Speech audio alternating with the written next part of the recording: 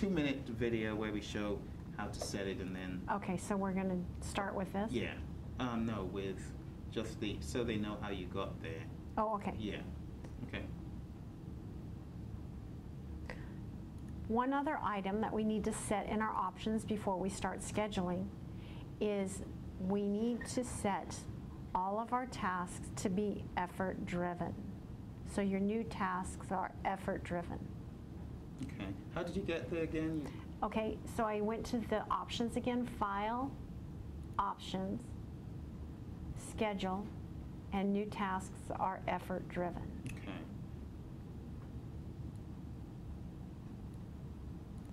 So we go back to our schedule, and we've gotten our costs in line by deleting, or not deleting, by inactivating one line in our schedule. Okay. And we need to shorten this by five days. So what we're going to do is add more resources to a task. So crash the project? Mhm. So if you have one resource working on this task and it takes $2,500, or I want to turn it back to the work here. I magically snuck over there. So I want to turn this over to the work so I can see how much works on this task. So Joe is actually working 64 hours on here. I want to split this between two people. It's a task that can be done by two people and I can shorten it by five days. So by just adding another resource here, and I'm going to add Carl. Now notice when I press OK, the work will turn to 3232. That's that software scheduling engine. Hmm. Voila. And my days turned to five, and I decreased the work by five days. It was 10, and now it's five. Nice. So when I did that, I need to take these predecessors and successors out of this deleted task and make sure that my little kids aren't lost. Because it didn't roll up to my top when I shortened those days and it should have. Mm-hmm. So I want to make sure that this milestone goes back to four instead of five. And that shortened my days here. Or it lengthened my days because I didn't have my stuff together right. Oh, okay. So now it's all together. So now it's all together. But we want to be very careful and make sure everything's linked because you saw a problem with that when I, when I took this task out, that it wasn't linked correctly. So now it is, and we know that is a dead task. So rule of thumb, delete your successors and predecessors there so you can see the holes that it's leaving. Otherwise, you won't have the date right when your project's completing. Mm-hmm. That's very important. So that one, task three, let's say it's inactive. Why not delete it? You can, and that's how I like it.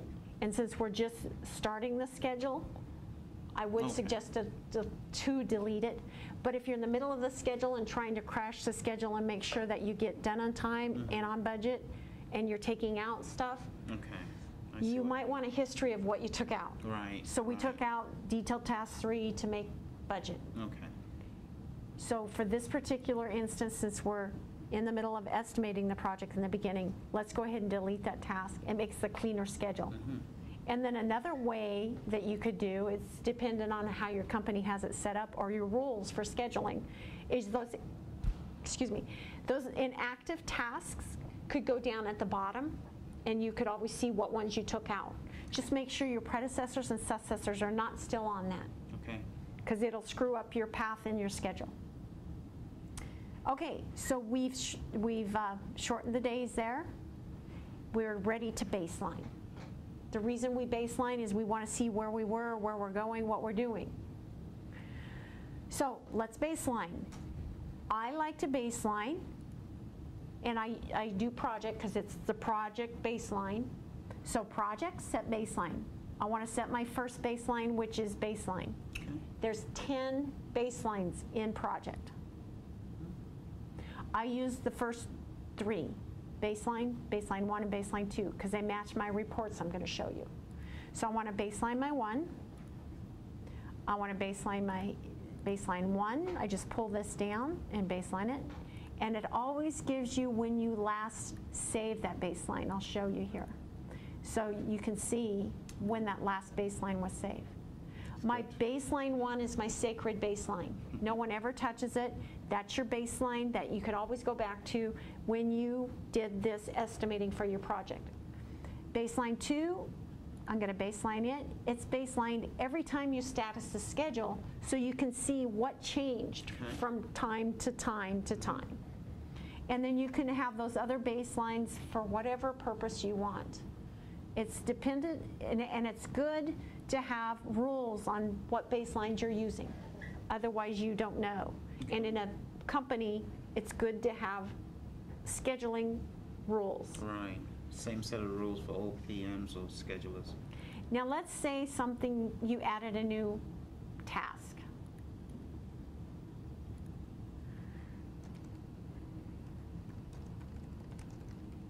Well, first of all, you got to put in your predecessors again. They're going to do this the same time, they're going to do the one ahead of it. And we're going to add, Task. oh, thanks. And we're going to add a resource of John. And they're just going to do that at the same time. So it added money, but I didn't add, and I'm going to have two days. It didn't add any time because these are done at the same time. Okay. Gotcha. So these are, yeah. So they're all linked correctly.